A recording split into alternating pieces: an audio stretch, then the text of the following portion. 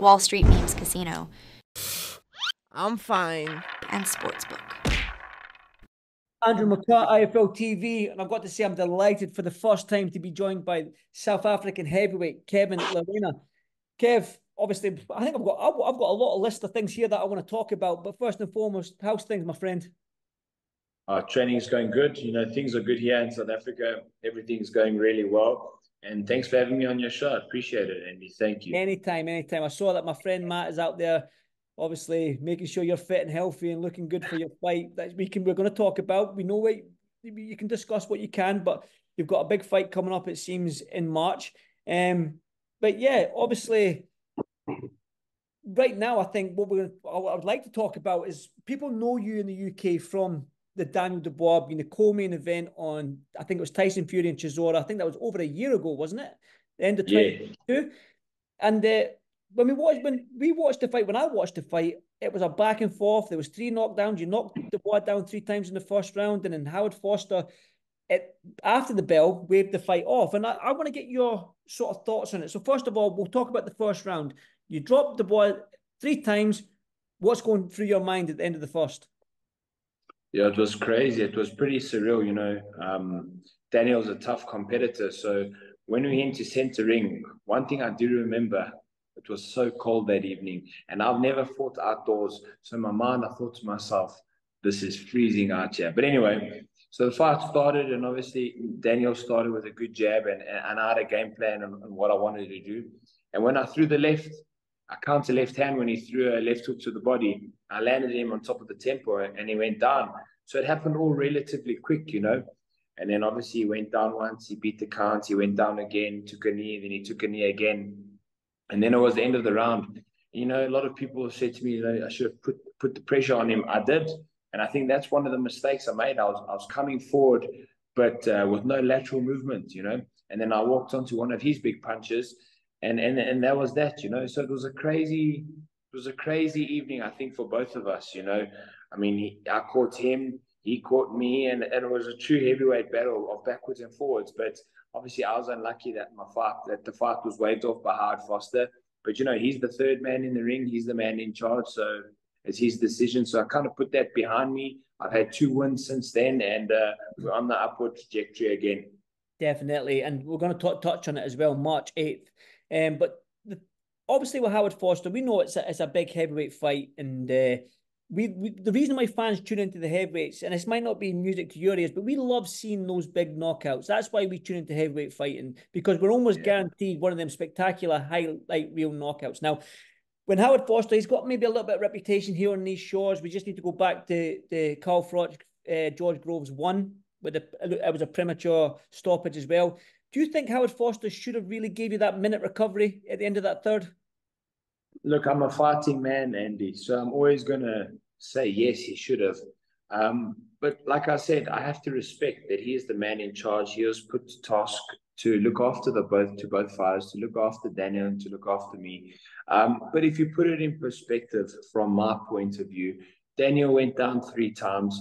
You know, he took a knee, he did the right thing to to get his equilibrium back because I caught him on top of the temple. And after the fight, Daniel even said to me, What did you hit me with? I mean, he asked, he said to his corner, What just happened? If you go back at the end of round uh, one, he said to his trainer at the time, Shane McGuigan, What happened? So it was obviously clear that he was stunned from the shot and he managed to. To get through the round, and he got a minute to recover, and he came back and he rallied on strong. I think that you know, obviously he caught me at a good right hand. I got up relatively quickly, you know, I got up really quick, which was probably, um, I wouldn't say a, a, a, downfall, but I'd say it was a, a quick get up. And, and obviously I was still a bit dazed. And then the fight went on. And if you look at the combination on the ropes, when Daniel caught me with some good uppercuts and, and was throwing flurries, in amongst those flurries, I landed a left of my own and clipped his chin and he wobbled again. So then Howard waved the fight off. But it was at the end of the round. I remember being on those ropes and saying, That's the end of the round. I can recover. Mm. And then he obviously waved it off. So I respect the man centering who's looking after us, and it was his decision. But as a fighting man, I do believe in championship fights, give the man a minute to recover. If I come out in the fourth and I'm looking no good and, and, I, and I'm not sure what's going on, by all means, wave the fight off. But that minute of recovery is an eternity in there. You know, again, you know, a minute of recovery is, is a lot of time to get your equilibrium back to regroup. But if you really hurt, it's not a lot of time. But I truly believe because I still said to him, why? Why are you waving it off? The bell just went. So I heard the bell. It was a terrific uppercut by Daniel. You know, no no discredit to him. We saw in his last fight, he had a great win against uh, Jarrell Miller. But um, yeah, I'm a fighting man. So give me a minute to recover. I got power of my own. I could come out and I could have floored him again, you know. But that's heavyweight boxing. You know, if you harp on the past and you harp on decisions that referees or judges have made, you know, you're gonna you're gonna have a very hard life. So I put it behind me. I move forward. You know, I got the WBC interim Bridgerweight world title, and now we're campaigning a bit at heavyweights again. So we're on the upward trajectory. I put that behind me. It was an honor to be out there in Tottenham and uh, to be in front of the UK fans for the first time. A lot of the guys thought I was hard done by. Maybe I was, but you know what? We cannot harp on what was and what could have been and what should have been. We need to move forward, and that's my mentality. Good. Well, let's move forward then, Kevin. Um, you mentioned there you got the WBC interim at Bridgerweight. Uh, you're moving up to hit, well, you're staying in heavyweight. You've been a heavyweight for a long, long time, but you're not the biggest heavyweights. What you six foot one? Um, are you comfortable up there? Because now we're looking at the, when we look at the heavyweight division, we're looking at absolute monsters and and guys like Joshua and Ngannou, Tyson Fury. These are six, six, six, seven, 260, 70 pounds, 250 pounds. What you're close to that 220, maybe 230 touching, maybe. Um, yeah. Are you big enough for heavyweight? Are you comfortable up there? To be fair, and to be honest with you, in, in today's modern era of heavyweights, no, I wouldn't say I am big enough by any means, by no means. But um, I've obviously I'm a natural bridgerweight. I walk around at 230 pounds, 225, you know, six foot one. But obviously, the bridge bridgerweight division is a division that's still looking to gain some good traction. So if I can bop between the two, um, the pinnacle of the sport is the heavyweight division. So the fact that I I can get out there and have a scrap with those top guys and and being a smaller guy, it has its disadvantages, but it definitely has its perks too. Because a lot of the big men aren't used to fighting smaller, quicker guys, you know. But it's how you use it. If you if you can be smart in there and and, and work on your ring IQ and, and moving my head, obviously, you know, being slippery and slick in there, it makes the fight harder for the bigger guys. Obviously, if you're going to fight them head on, it becomes a 50-50 and they're bigger, possibly stronger, and it makes the fight a lot harder. So it's just how you fight the guys. I think I've got to a point in my career. I've been a professional for 11 years now, and I want to dare to be great. I'm going out there to give it my all. You know, I've done everything I could at cruiserweight. I've done a decent job at heavyweight to beat Bogdan Dinu and Mariusz Wach to get the shot with Daniel Dubois. I stunned. I think I put a lot of fans. I left a lot of fans with open jaws at the first round with Daniel Dubois saying, "What's just happened?" So the sky's the limit, and I'm just daring to be great and chasing greatness. And and if that means fighting at heavyweight or bridgerweight, well then so be it. The good thing as well, the WBA have got a super cruiserweight, which is 224, 224 pounds. So it seems like each yeah. governing body now is starting to bridge that gap between because the gap between cruiserweight and the, the guys at the top is like like I said, that's 250. So 200 pounds to 250 is a is a big gap, but they're trying to bridge that. So which which is good. The WBA are doing it which is good. But you mentioned there the modern era heavyweights. We go back to like Muhammad Ali days and Joe Frazier's. They were six foot one, six foot two, six foot three. It just seems like the modern era right now. If you were born in maybe the eighties, I mean that you probably exactly. fit the heavyweight division quite comfortably. Exactly. Fighting, in the, sorry, fighting in the eighties, not born in the eighties, fighting in the eighties. Yeah.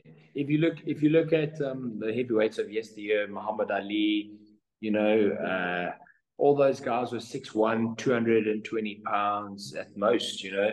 Um, they weren't the biggest guys. I mean, Big George Foreman, Big George Foreman, I think, if I'm not mistaken, he was only six foot three. Mm. And uh, big man, yes. But the modern day guys are gladiators. The modern day gladiators are a lot bigger. Deontay Wilder, probably six, what, six, seven. Tyson Fury, you know, AJ, Ngannou, Daniel, what, six foot five. I mean, just to name a few, Joe Parker, mm. Zhang. You know, the guys are big yeah, out yeah, there. Yeah, so, so you. Joe Joyce, yeah. Yeah, Joe Joyce. I mean, you got Jarrell Miller, who's a very big guy too. So the playing field has changed. The landscape of heavyweight boxing has changed. But you know what? If you can throw in this wild card guy who's come up from cruiserweight, won a bridgeweight belt, and is now popping around at heavyweight again, it just adds a little bit more excitement to the division. You can never have too many heavyweights and I'm always going out there to give up my best and put on a show for the fans. Definitely, and that's music to my ears. Um, but listen, we've, seen cruiserweights come up and make a, uh, a dent in that heavyweight division. Evander Holyfield, Usyk. Do you know what I mean? So the smaller guys can come up and put a dent on these bigger guys. So um, that brings me on nicely. You mentioned there that you, you dare to be great. Now, I read somewhere, I think your coach maybe have said something or put a post out saying that you're on the March 8th card, the Joshua Ngannou card in Saudi Arabia. Um, no better stage no better stage right now to to showcase your skill because it seems like the Saudis, His Excellency Turki Al Sheikh, he loves the heavyweights. He loves them. Um, and it seems like every time there's a fight out in Saudi Arabia, you mentioned the landscape. That heavyweight landscape is changing all the time. There's an event out there. We just seen, mm. you mentioned Dubois and Miller. I think Dubois was an underdog. He wasn't the favourite of going Miller, but he done it. Parker was the underdog against Wilder. He beat Wilder. Yeah. Do you know what I mean? So we've seen Ngannou give uh, Tyson Fury kittens last time out. Yeah. Put a great performance. So the landscape is changing each and every time. I just want to touch about Agit Kabayel against Makhmudov as well. So you're going to go out there March 8th, and whoever it's against, I know you probably can't say who you're fighting or whatnot, but whoever that's against, you've got a real, real sort of platform now to showcase your your skills and stamp your authority in this heavyweight division. 100%, Andy. I think, um, like you said, the landscape of heavyweight boxing has changed. It's moved to Saudi, and and there's continuously curveballs being thrown. Look at all the previous results. Um, His Excellency, Turki and, and Spencer, is obviously the people that I've been dealing with, and um, George Warren and, and uh, my promoter, Rodney Berman. You know, we've made it all happen, and I appreciate them for giving me the opportunity to showcase my skills. You know, His Excellency loves heavyweight boxing, as you said. Spencer, he's been a good guy by putting my name forward and giving me and making the fights happen um, from Gold Star. But now it's up to me to deliver. And and I think by no means do I do I think I cannot deliver.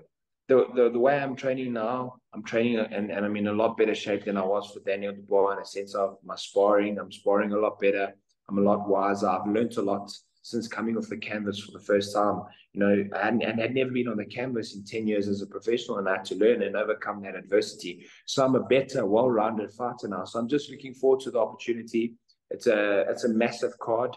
Uh, Anthony Joshua versus Francis Ngannou, two great heavyweights or two big men colliding against one another. It's going to be, as it's dubbed, knockout chaos. It's going to be exciting, and um, I'm just grateful to be on that card. And now it's up to me to showcase my skills. It's called knockout chaos, Kevin. You getting you going for the knockout? Always, you know, that's what makes the share price go up. You know, but, but by any means possible, to be honest, by any means possible, victory is the number one thing to get.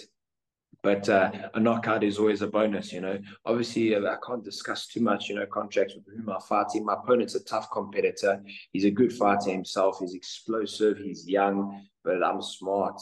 And I've grown a lot in the sport of boxing in the last two years. And I'm just looking forward to the challenge the thing is as well, it's interesting to because like I say, the Saudis put on it's put on great fights. Do you, know, do you know what I mean? And whoever you're fighting, like we don't know who it is, but I, am I, I can almost guarantee that's going to be an absolute a big name and a name that you want, and uh, it's going to be an exciting fight. But after that sort of, we've seen Daniel Dubois against Jarrell Miller and the, these young guys, and what part of you wants that rematch with Daniel Dubois? Is there still a part of you that wants that rematch with Daniel? Most most definitely, you know, obviously Daniel's on his own path right now. You know, you got to respect that. What what what does he need that's good for his career right now? It wouldn't really be a rematch with me because uh, he's probably seeking a big title fight. You know, another big fight, another good payday. But it's definitely a fight that I want. I mean, it's, uh, after my loss, I did I did appeal and say, look, I think a lot of the odds were stacked against me. I'd like a rematch, and then we never got it.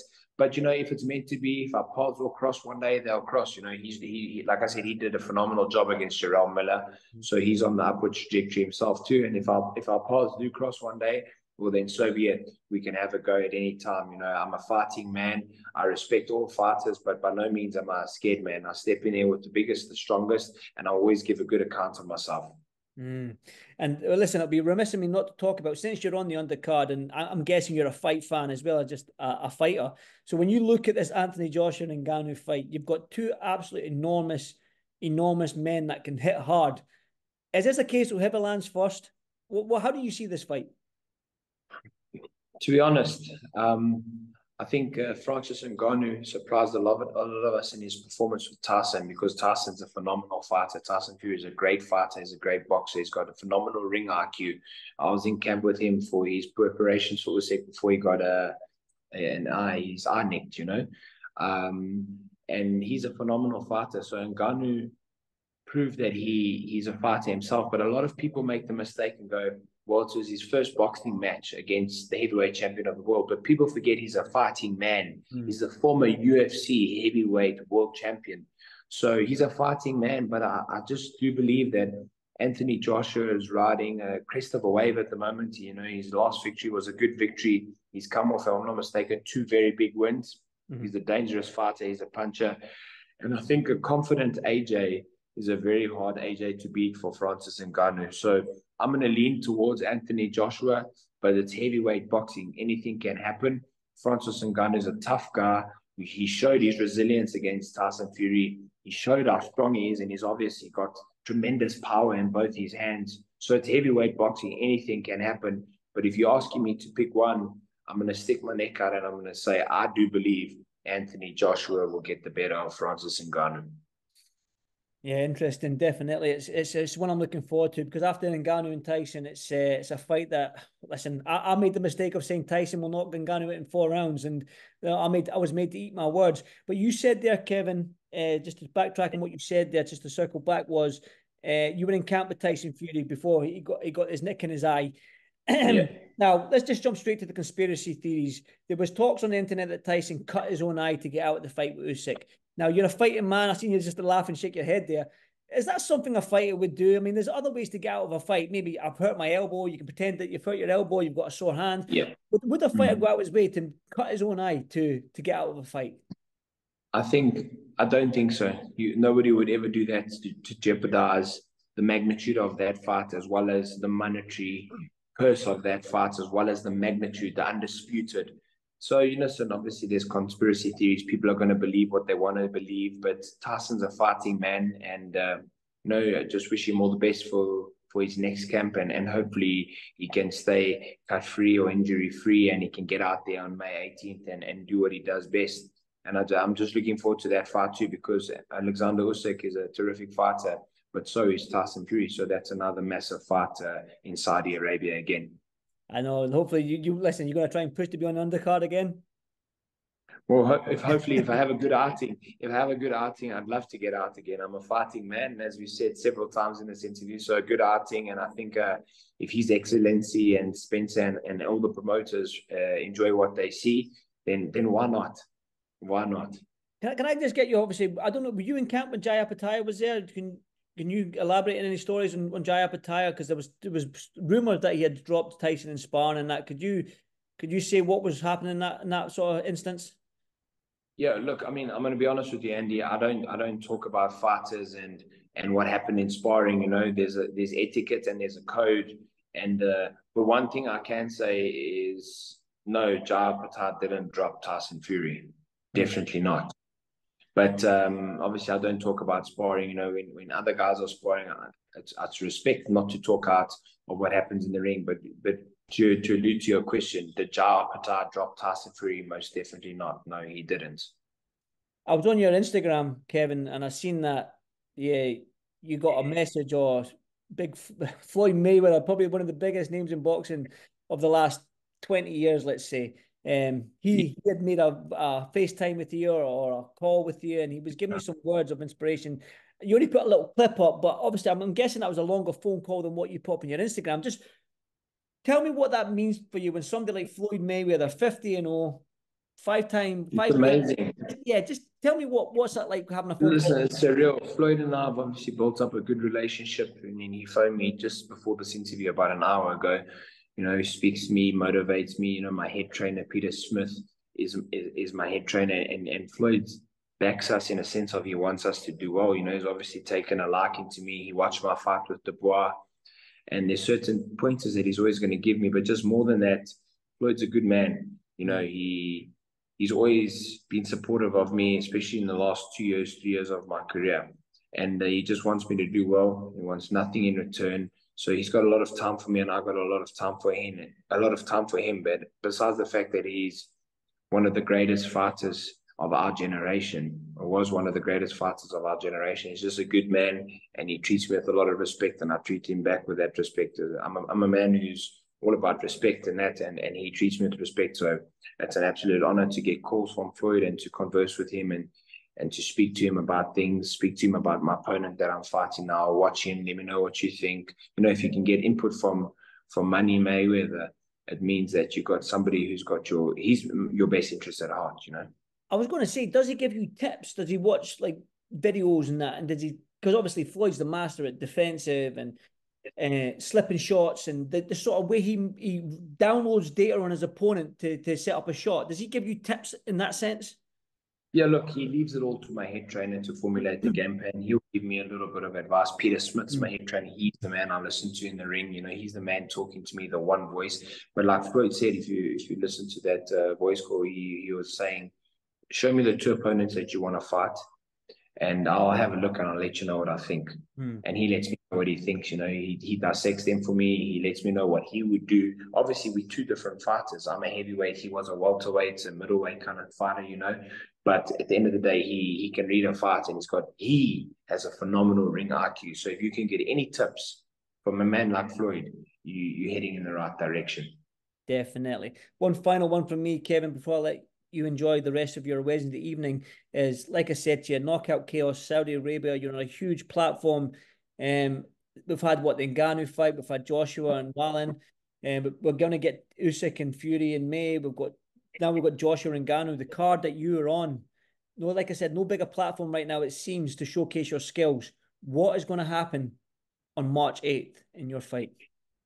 You're going to see the best version of Kevin Lerena. I know my opponent's going to be he's going to bring it. He's young, he's explosive, but you're going to get you're going to see the best version of me. And I truly believe the best version of Kevin Lerena will win on the 8th of March and we'll move on to bigger, greater things. Kevin, listen, absolute pleasure and an honor to speak to you, my friend. Uh, like. I said to you, good luck March 8th. I'll be in Saudi Arabia, so I'll see you throughout fight week. And um, we'll probably get a, pro- a proper chat with a microphone and a camera. Um, but you're, you're in South Africa. I'm in Scotland, so we're a bit far away just now. But listen, I'll see you in Saudi Arabia, my friend. Keep training hard, and uh, I'll see you soon, my brother. Appreciate it. Take good care. Thanks, Andy. Anytime, Kevin. Thank you, mate. See you soon. Wall Street Memes Casino.